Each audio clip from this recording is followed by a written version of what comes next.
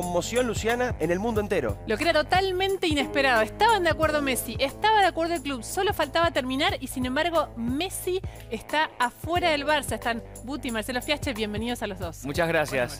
Yo hablo de desorientación mundial, no solamente de conmoción, porque hasta hace algunas horas todo indicaba que Messi había vuelto de visa luego a Barcelona para firmar el contrato y de pronto estalló la bomba. El contrato está eh, acordado entre Messi y Barcelona. Quien no suscribe al contrato es la Liga un señor que se llama Javier Tebas, no los quiero marear con tecnicismos. ¿Qué es la Liga? La Liga Española. La Liga es el marco regulatorio de la economía de los clubes de fútbol, que te dice podés gastar hasta acá. Si vos sumás a Messi te pasás respecto del tope, no podés anotar. El famoso fair play financiero. Exactamente. La Liga es como existe acá también, la Liga Profesional, está eh, vinculada a la AFA, pero es otro organismo. Bueno, allá pasa lo mismo y aparentemente estalló todo el tema de los números. Hay un número que no le da a Barcelona. Ahora, para el cierre del libro de pases falta bastante, ¿eh? No, pero aparte no es solo eso. No le da a Barcelona, pero se supone que son todas cuestiones que vos te pones a hablar. De hecho, ya las venían hablando. Venimos todos hablando hace un montón de esto. Buti lo contó acá en Telenoche si se supone que podés seguir hablando, ¿es raro que el club diga Messi está afuera? ¿Es una estrategia lo que está pasando? Es una de las posibilidades, lo que se evalúa. También aparece acá el tema de la competitividad. Messi es un tipo muy competitivo. Y si vos para dejar a Messi en el equipo tenés que armar al resto eh, pobre futbolísticamente, ¿tiene sentido que Messi se quede? ¿Messi se quiere quedar si Barcelona no se puede reforzar convenientemente? La verdad es que ha llevado jugadores en condición de libre. Por ejemplo, al Kun Agüero. El Kun Agüero, que además había mucha expectativa de verlos juntos. El Kun con Messi en el Barcelona. Y de golpe. Hay dos informaciones eh, preliminares respecto de cómo está Messi en este momento. Medios españoles como. Hablan de estar en shock. Mundo Deportivo habla de shock, de, de un chico abatido. Y eh, frustrado por esta posibilidad, por haber empujado, comprometido a Kun Agüero, quien firmó su contrato resignando plata porque tenía mejores opciones. El Barcelona está con un problema financiero gigantesco, es un club en problemas. Eh, no se coman lo de la potencia europea de otro tiempo. Bueno, Kun Agüero aceptó ganar menos, fue a Barcelona y Messi no puede firmar su contrato. Vamos a Barcelona, derecho, porque ahí esto es una conmoción particular, no solo mundial. A la gente del Barça no lo pueden creer los que hinchan por el Barça. Ahí está Tomás de Micheli en la calle. ¿Qué está pasando? Buenas noches. Bueno, primero, contarles que no se va a dar mucha gente porque aquí hay toque de queda. Entonces, a partir de este horario está prohibida la circulación. Eh, decirles que estuvieron muy bien en repasar de que quizás esto sea una estrategia. Todavía la gente aquí en Barcelona no cae. No cree que Lionel Messi no sea más jugador del club creen que puede ser una estrategia de Joan Laporta para convencer a la liga y también lo que estamos seguros es que el capitán de la selección argentina se quiere quedar en Barcelona y ha hecho todo lo posible y ha aceptado todas las condiciones para que eso suceda. Pero también, como bien contaban, algo sucedió y el Barcelona no le hizo una oferta eh, y, y por eso eh, se desencadenó lo que hoy pensábamos que era un día de renovación para recién hacerlo oficial mañana y terminó siendo este torbellino de las últimas horas. Pero Tomás, es importante esto que estamos planteando porque estamos abriendo todas las posibilidades. La de la estrategia es una que se eh, viene tomando fuerza en el último tiempo, sobre todo por las ganas que tienen los hinchas del Barcelona, por las ganas que tenemos todos de que Messi siga jugando y pueda jugar con el Kun. Ahora, hoy, a esta hora, a las 20.07 en la Argentina, algunas horas más allá en España, es oficial. El club emitió un comunicado oficial y contundente donde dice Messi no continúa en el club, un tuit diciendo gracias Lionel y hasta lo borró de la página de internet del club. Sí, eso sucede primero porque hay contratos, hay intereses y recordemos que lo hemos mencionado antes en Telenoche, este Barcelona no es el Barcelona magnánimo que uno imagina y que comete errores todo el tiempo. Recordemos lo que ha sucedido con el Burofax, donde el crack argentino también quería quedarse. Entonces, está bien, hay un comunicado oficial que si vemos para lo que significa Messi para la historia del Barcelona y del fútbol español, es bastante pobre, bastante escueto. Entonces, las explicaciones tendrán que llegar mañana cuando a las 11 de la mañana aquí de España Joan Laporta brinde una conferencia de prensa y explique qué está sucediendo. Si es que no hay más posibilidades de que Messi siga aquí en Barcelona o si realmente algo puede cambiar en los próximos días porque todavía falta mucho para que el mercado de pases se cierre. Bueno, esto que está diciendo Tomás, gracias Tomás, es muy importante, ¿no? Mañana se supone que va a haber noticias, novedades, qué está pasando, los detalles. Ahora, mi pregunta es, acá puede haber un montón de situaciones estratégicas, pero es, ¿Messi es un sorprendido de esta situación? ¿O Messi estaba al tanto de todo? Todo indica que sí, que se sorprendió por el modo en el que se dieron los hechos o se desencadenaron los hechos en las últimas horas. Por eso la llegada del padre de, Lionel Messi, de Jorge Messi a Barcelona, en lo que muchos creíamos era para firmar el contrato. Pero bueno, esto evidentemente no es así. El tuit oficial habla de la desvinculación y le tira la pelota a la liga. La liga la mencionaba Buti antes. La liga todavía no ha dicho nada. Pregunto, la liga como negocio futbolístico. Sí, horrible lo que hace. ¿Puede Claro. permitirse que Bueno. Messi se vaya a jugar a Inglaterra, se vaya a jugar a Francia, se vaya a jugar a los Estados Unidos? ¿No pierde muchísimo valor de televisación, de Sí. premios, de atractivo una liga sin Lionel Messi? En España la la información indica que la liga se siente fuerte porque acaba de suscribir un contrato eh, por 40 años en donde va a patrocinar a los clubes con dinero fresco. Eh, también dice la liga, hablo de información eh, española en este momento en cuanto a dónde se para este señor Javier Tebas y, la liga española. Dicen que pudieron sobrevivir a la partida de Cristiano Ronaldo, también podrán hacerlo eh, si sale Messi de este negocio.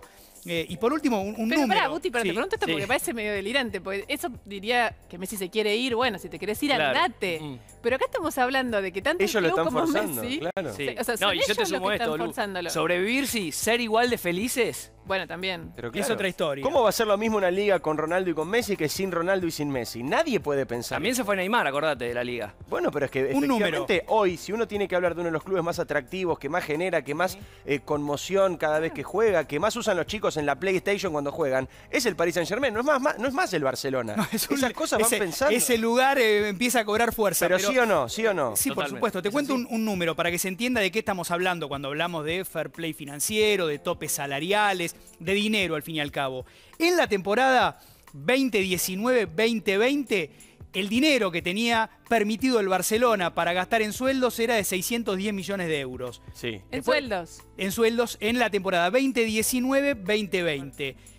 En la temporada pasada, la que terminó la 2020-2021, ese presupuesto doblaba a lo que tenía permitido el Barça para gastar. O sea, se tenían que eh, achicar. A la Y ahora- mitad. a la- y ahora se tiene que achicar más todavía. Por eso es inviable suscribir este contrato. ¿Se entiende eh, el eje del Y para lograr pagarle el sueldo de Messi tenés que echar o sacar del plantel a un montón de otros jugadores que te deja un Claro, plantel muy flojito. Transforman al equipo muy poco competitivo. En ese contexto, Messi se quiere quedar cuando vos sabés que apenas podés llegar a tener chance de ganar la liga. No, está, está bien, pero eso por ahí lo podemos sumar a Tomás de nuevo en esta conversación. Pero a mí me parece que eso es lo que estaban hablando Messi y el club. Acá estamos hablando de que un ente superior, que es la liga, le dice, no, vos podés llegar hasta Te pone acá. un límite. ¿Por qué si ellos dos están de acuerdo?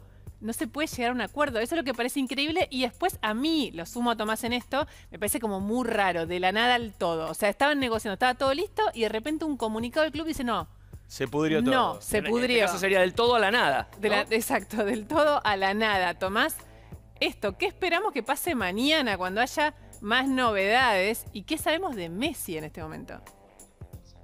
Bueno, eh, la verdad que están haciendo un marco de la situación inmejorable, sobre todo teniendo en cuenta que esto es muy raro porque hoy se esperaba el anuncio oficial de la renovación, quizás mañana, y que el domingo, en un par de días, Messi juegue el Gamper, que es el trofeo donde Barcelona presenta a su plantel para la temporada con Agüero, con Depay, etcétera. Pero un nombre que quiero agregar, Marce, es muy importante, sobre todo para nosotros, los argentinos, es el de Cuti Romero. ¿Por qué? Porque cuando Messi pide un plantel competitivo, no hace pedidos estratosféricos, hace pedidos de jugadores que vienen en progresión, que vienen demostrando que están eh, para demostrar en grandes equipos, y uno de esos parece haber sido el Cuti Romero, que, según la información que tenemos, y de hecho ya se han publicado fotos, mañana va a ser anunciado en Tottenham y será el argentino, el defensor argentino más caro de la historia.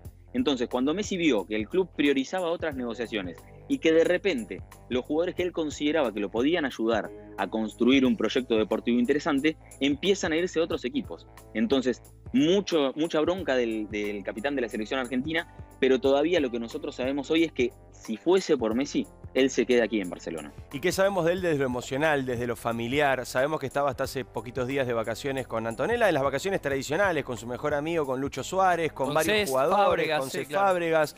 Eh, retorna a Barcelona, como decías, con la expectativa finalmente de firmar. Acá a mí me consta, porque he hablado con algunos familiares de Lionel aquí en la Argentina, acá en Argentina era sorpresa, era conmoción y era hasta tristeza incluso, porque quieren mucho al club. ¿Qué sabemos desde lo emocional de Lionel Messi ahora? que ha sido un gran golpe porque tengamos en cuenta que la principal voluntad de Messi para quedarse aquí era su cariño por el club Claro. y la comodidad de su familia. ¿Y quién más que Messi se ha ganado de decidir sobre su futuro?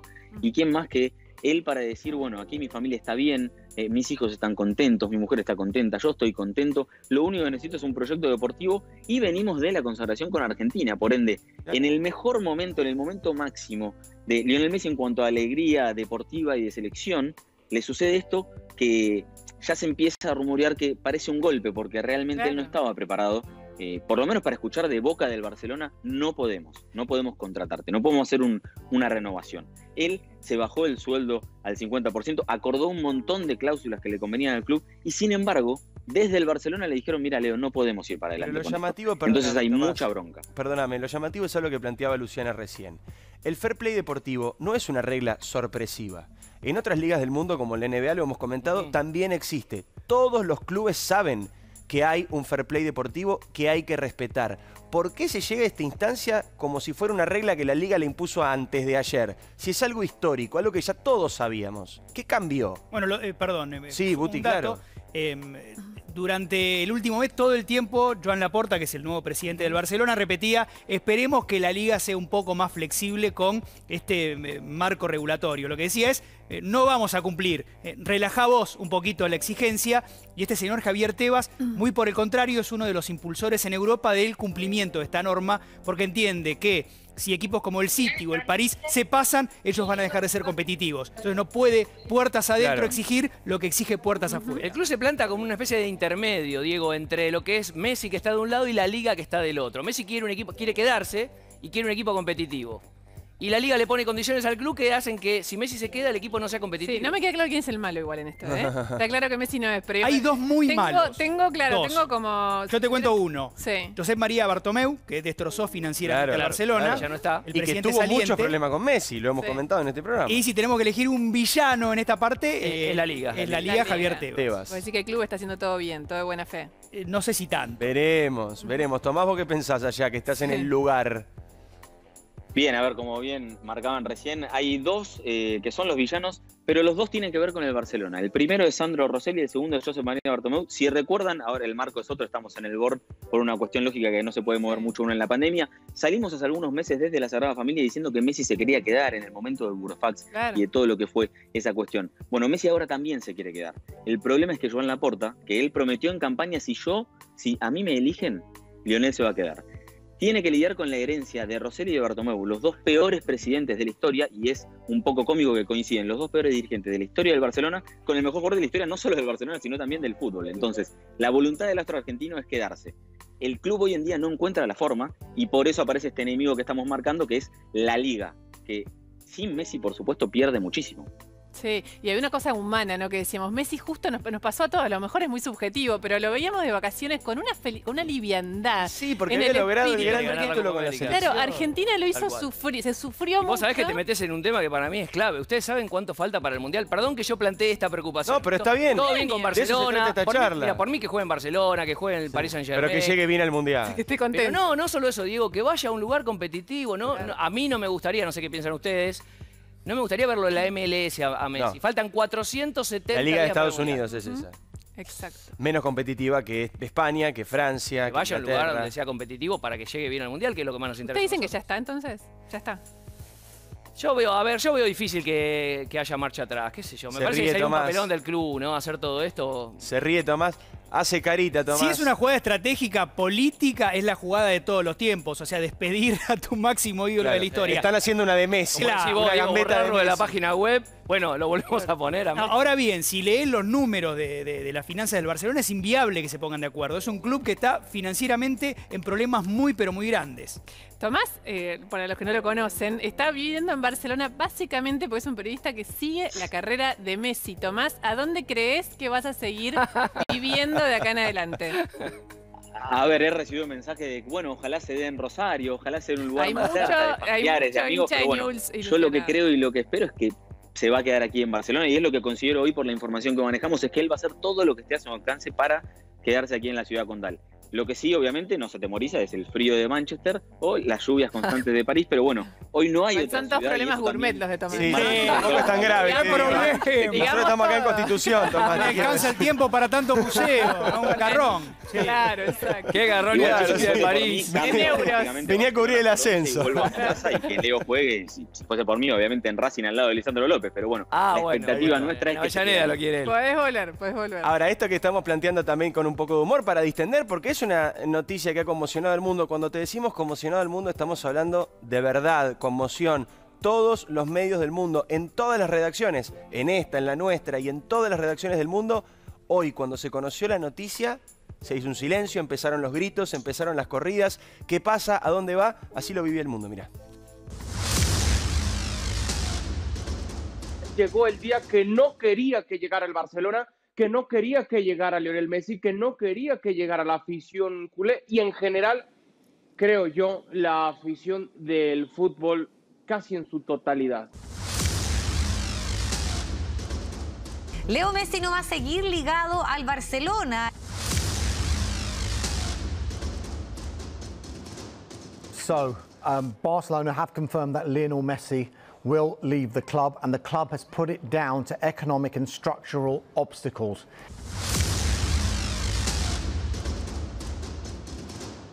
Questões econômicas impostas pela organização do Campeonato Espanhol teriam sido determinantes para a saída de Messi do Barcelona.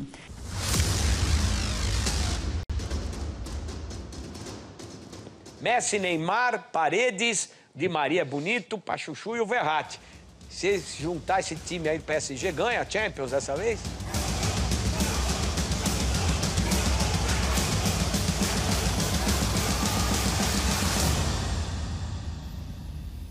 Es impactante, No, ¿eh? qué imprevisible, Es ¿no? impactante. Como, ¿quién no- ¿Cómo hubiéramos podido imaginar en el medio del contexto en el Tal que cual. estábamos La última que esto foto. iba a pasar? Y te agrego algo. Viste que siempre hay periodistas que están especialmente metidos en la vida del club. Bueno, Tommy es uno, conoce Claro. muy bien lo que pasa en Barcelona.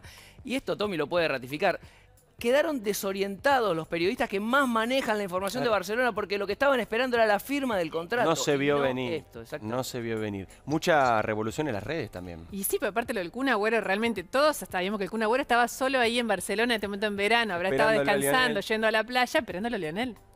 Sin embargo, Jason, memes por todos lados, reacciones en las redes, el mundo entero hablando de esto. El mundo entero, ¿eh? no solamente, sí, las redes sociales, donde, claro, esperaban que el Kun concentran juntos en la selección desde adolescente, casi era finalmente vuelven a hacerlo en un club. Bueno, eh, vamos antes a repasar lo que pasaba con los medios. Fíjense, siguen siendo tapa ¿eh? oficial. Messi no sigue los principales diarios, medios deportivos. El Sport dice Messi no renueva con el Barça, ya dándolo por sentado. ¿eh? El Barça anuncia su ruptura con Messi, lo dice Mundo Deportivo.